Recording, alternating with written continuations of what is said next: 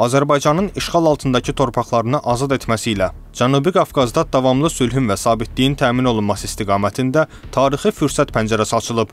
Bunu Türkiyə prezidenti Rəcəb Tayyip Ərdoğan BMT Baş Assambleyasının 77-ci sessiyasında çıxışı zamanı deyib.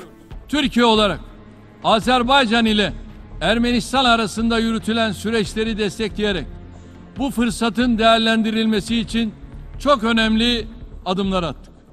Son günlerde yaşanan çatışmalar bu güzel iklime gölge düşürmüş olsa da iki ülke arasında en kısa zamanda kapsamlı bir barış anlaşması imzalanmasının mümkün olduğuna inanıyoruz. Ərdoğan Türkiyənin hər zaman Azərbaycana dəstək olduğunu xüsusi vurğulayıb. Azerbaycanlı kardeşlerimizin haklarını ve geleceklerini inşa konusunda verdikleri mücadelede daima yanlarında olmayı sürdüreceğiz.